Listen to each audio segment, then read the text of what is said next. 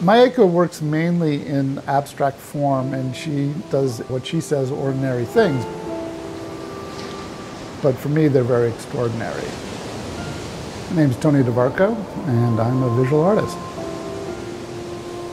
When I was at Shark Fins Cove, the waves are the same sort of feel you get when you see how she does her painting. She's capturing that dynamism that I feel when I'm in the landscape up here in Northern California. Which is very interesting to actually see someone's artwork that hits you and they're actually 5,000 miles away on the other side of the Pacific.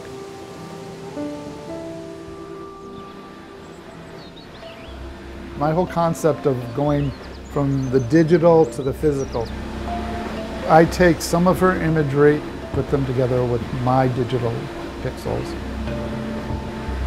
Then Mayako brings it into her studio and she paints over it.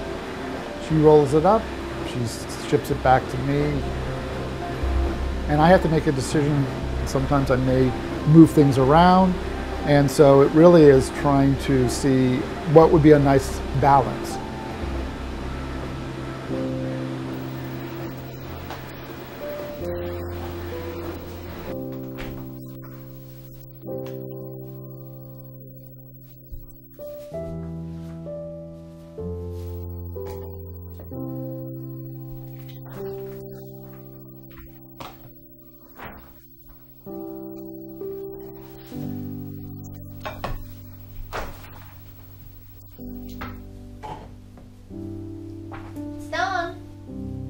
Stone!